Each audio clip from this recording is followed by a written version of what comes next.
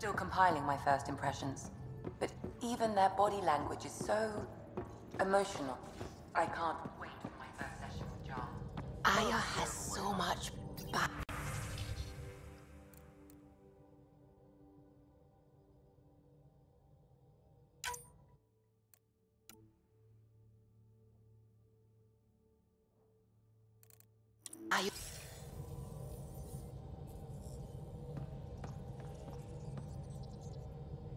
We might have a problem. I was running some numbers, mass balances and such. The Tempest is carrying about 70 kilos of extra mass. I think something's aboard that doesn't belong. Is it a problem that we're carrying extra mass? Not mechanically, but, but something heavy and unexplained. That's not good.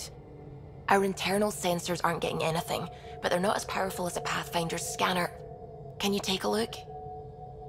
All right, I'll look around the ship and see what I can find. Ryder. I should get back to things. Sounds good.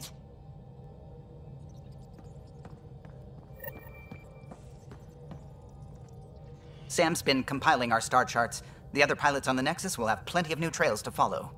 You can drop the charts off the next time we're there. Funny. A few months ago, that station was like a war zone. Flying was my only way to escape the chaos. Now it's become a haven, just as it was meant to be. Every good space station needs a big lake, maybe some fountains. Indeed. Even non-amphibians need a little water. Regardless, the worst threat to the whole initiative is still that monstrosity. You mean the Scourge? I still see it crippling the Nexus in my memories. I had to train other pilots in hazardous flight techniques just to look for food and water. It's a cage that eats good ships and good people. Heleus won't be home so long as it's a threat. It's a huge space anomaly. It's not going away in anyone's lifetime. If we could somehow neutralize it, or if our ships had defenses against it. Still, that's what we do, isn't it? Find a way where there is none. Just see the Nexus for proof of that. Oh, the ship manual's useful. That leg of my workbench needed propping up. If you bothered reading it, you'd know that the Tempest is an orchestra of new tech. You can't just meddle with. I got this ship launch ready in record time, Kallo. I know my stuff. And you don't have a shred of respect for other people's. Kallo? Oh, Ryder. Sorry you had to hear that. What can I do for you? What do you think of the rest of the crew? Jaal has all sorts of questions about the ship. I gave him some technical manuals. He tore right through them. I should ask him about Angaran ships. Imagine something actually designed to handle that damn scourge. I'll let you concentrate. You know where I'll be.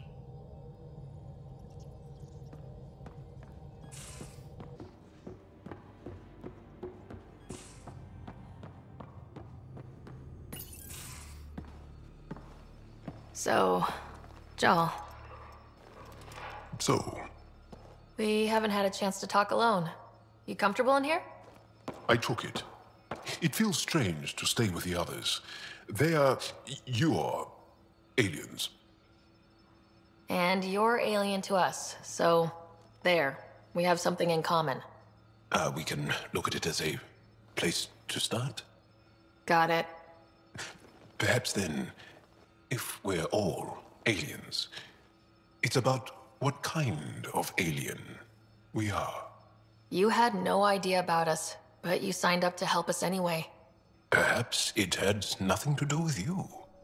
Care to elaborate? I do not.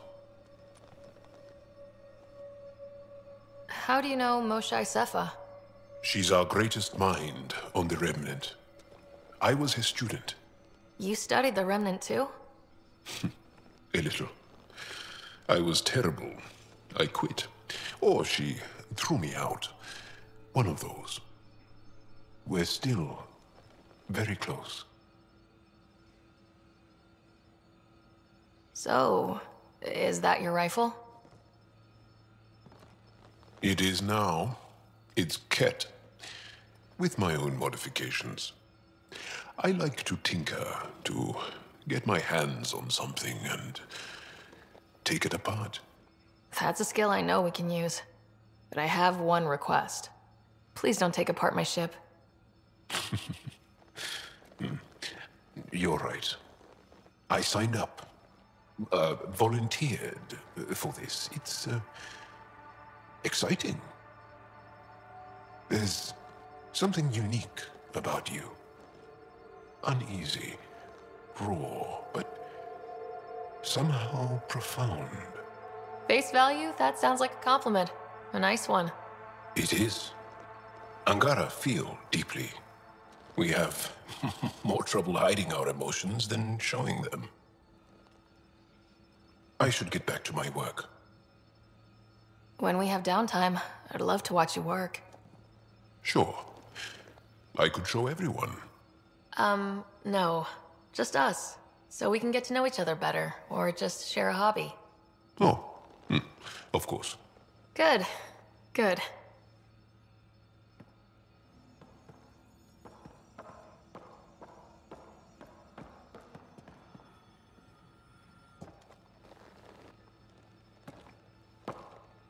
Yes? What's your story, Jaal? Tell me about yourself. Why? Well, why wouldn't you? You hiding something? Maybe. That would only make sense. I was born on Earth, third planet of the Sol system in the Milky Way. Hmm. That's interesting. Thank you. That's enough. Until we've established a better trust with each other.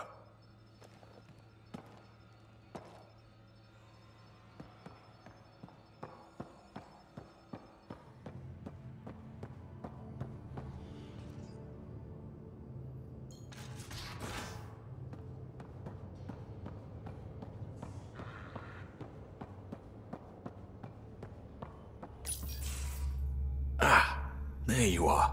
Gotcha. Do I need to get Lexi to do a psych review? Maybe. People have been telling me I'm crazy my whole life. Just dealing with some scourge issues. That Archon fella tried to warn you not to joyride into it, but you were just la la la. It was an act first, think later move. I respect it. Well, more like I resemble it. hey, you play poker? Come again? Poker. Card game with bluffing, betting. It's an age-old measuring stick of a person's character, fortitude, guts. Used to think maybe it was my calling. Turns out I'm just good at it. Never lost heads up. We should play sometime. Willing to put your streak on the line? Huh. I'll risk it. Next time we port up and you're in the mood, I'm always in the mood.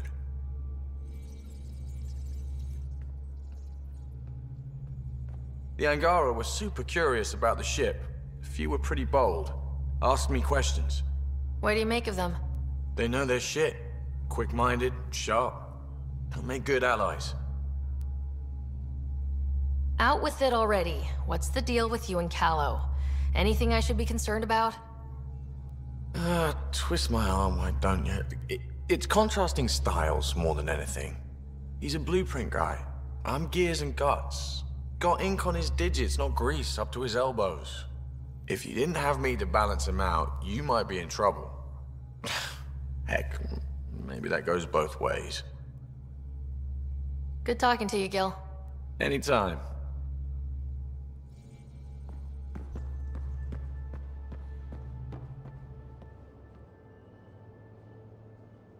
I did not like the look of that Archon. Maybe the Angara will let me pitch a 10 on Aya for the duration. Didn't think you were the type to run from trouble. Well, when you put it that way. All right. Next time, keep him on the line. I might have something to say. Thanks for chatting. We'll talk again later. You know it.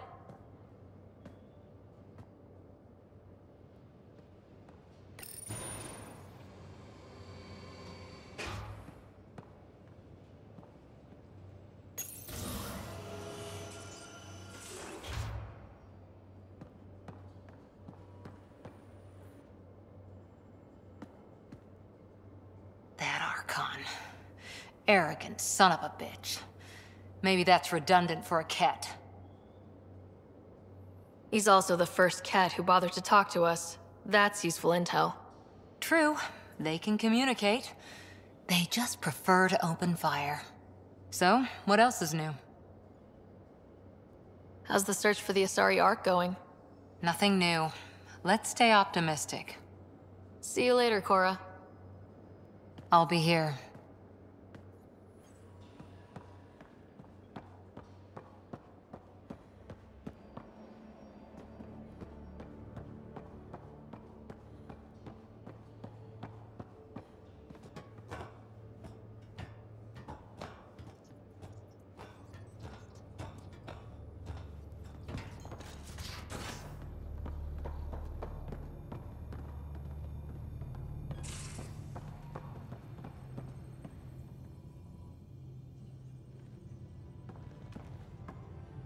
One hell of a trip this is turning out to be. Hostiles, ruined worlds, no home in sight. Everyone's getting toasty. There was a two-hour argument yesterday and no one even knew how it started. That's not good. Luckily, I have the perfect way for people to unwind. Movie night. Taking a breather for a good movie? I could get behind that.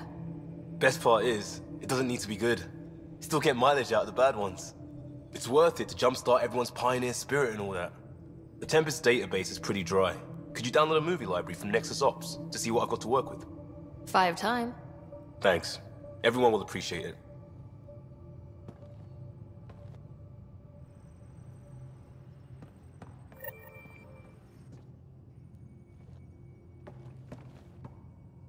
Pathfinder, hey, I was wondering, could you put your stamp on a project? It's for me and Jaal to work on. Call it diplomacy if you have to put it in a budget bucket. Greenlight that research and it's all good. What's your read on the people we're working with? The squad and crew? They're all fine. You must have opinions. Your opinion's more important. What do you think of your people? The math says we have all the right qualifications. I trust that. That's probably what the Nexus is counting on. That our skills fit together to make it work. Up to us to figure it out. That's why this is our ship. So we own it. Want to make it work. We'll talk later. I know it.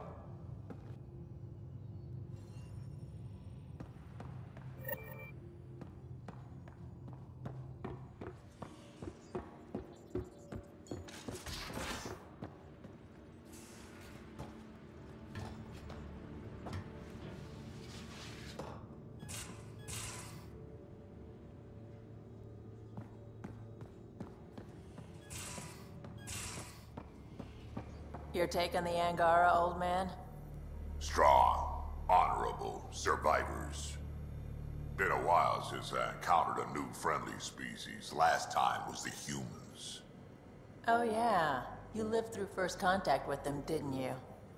If I recall, my exact words were, They're bold for being so squishy, do they know they're mostly water? Harsh. Don't let Ryder hear you.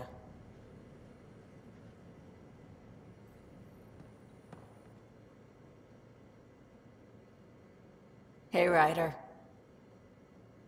You probably have work to do. We can chat later. You know where to find me.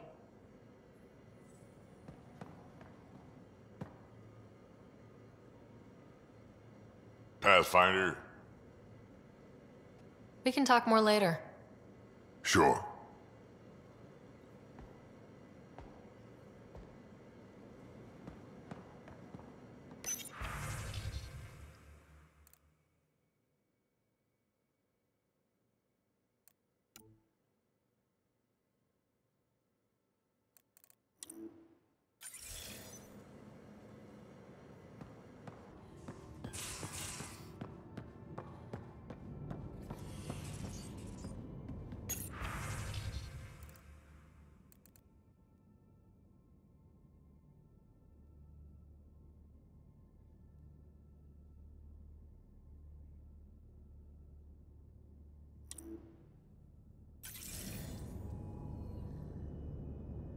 Hello, Ryder.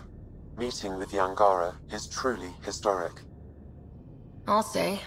My only comparison is Alec Ryder's experience in the First Contact War, a time of uncertainty and cultural misunderstanding.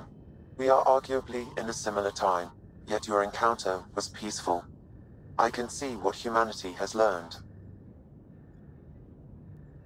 How are those jokes coming, Sam? Why is it so hard to find a good steak? I don't know, Sam. Because it's a rare medium. Well done. Uh.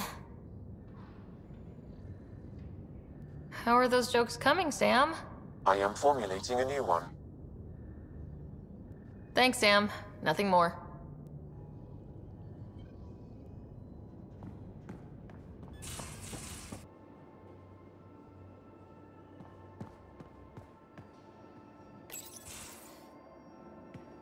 Liam, I signed off on that project. That's great, Pathfinder. Jaal ama Darav, we got our gear. Costa? Ryder?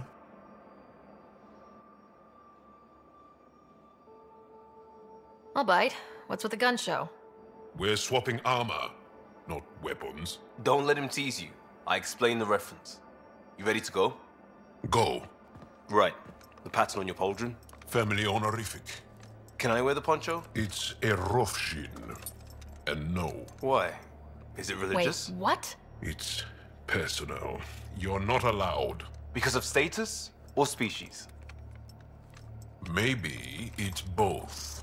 Mm, do all humans look alike? Some of you sound alike. Whoa, whoa, whoa. I know how this goes. Someone's getting offended and someone else punched. That's why we're doing it here? It's an armor swap for answers. Stuff the diplomats, don't ask. Hey, my turn was earlier. Nexus info packets leave a lot out. I am sorry. Was this not sanctioned? Yeah, you weaseling Adi.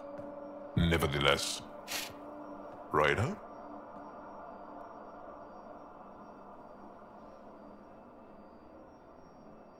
I hope you know what you're doing. I don't need the Nexus breathing down my neck. Relax. Jaal won't complain to HR or whatever Tann thinks we report to. We were joking around and realized we didn't know how to insult each other. Or how not to. Some things are so ingrained they're invisible. We didn't even know the warning sign, so we got it over with. Now we won't do it accidentally. Like when we're trying to negotiate an outpost. Enough of his people want to shoot us now. Okay, I kind of get the intent. No harm, no foul. if Jaal was offended, I'd be on the floor. I'll take that kind of honest any day. We have a lot to learn. That's part of what our team is for. Better now than when people's lives are on the line.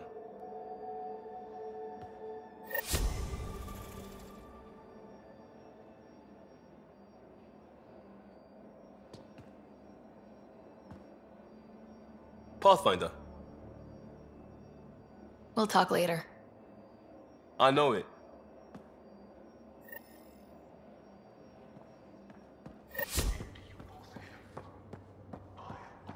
Thank you, Suvi. Someday I'll find out why you're always strapped